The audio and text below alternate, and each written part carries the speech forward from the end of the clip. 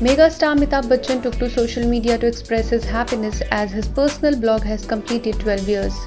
Big B shared two selfies along with a customized emoticon image on Instagram.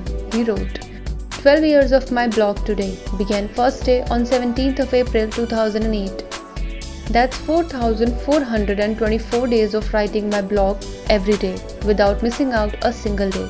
Thank you my extended family, love and because of you.